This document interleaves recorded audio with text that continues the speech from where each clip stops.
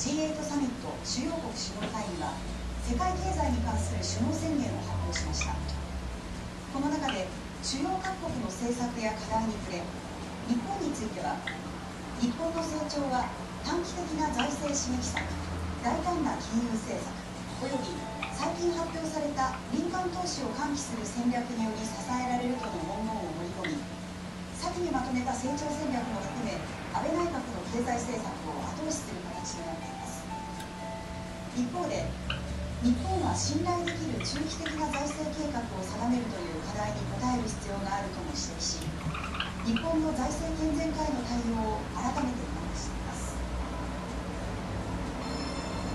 17日のニューヨーク株式市場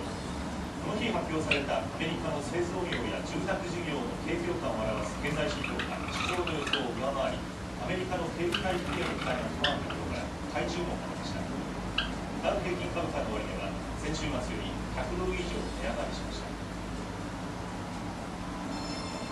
当初の予定を早め来月8日を軸に調整していることが分かりました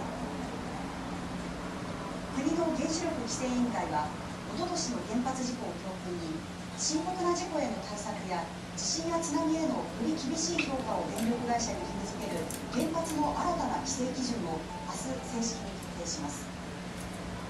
制委員会は新基準の施行を当初来月18日までに予定していましたが必要な準備が整ったとして日程を早めて来月8日を軸に調整していることが分かりました。規制委員会はこれに合わせて原発の運転期間を原則40年とする制度も導入する予定で新基準の施行について最終的な調整を行っています。今月11日の夜本州と九州を隔てる関門海峡で海上自衛隊の練習艦島行きが貨物船とおよそ250メートルの距離まで接近し直前で衝突を回避していたことが分かりました。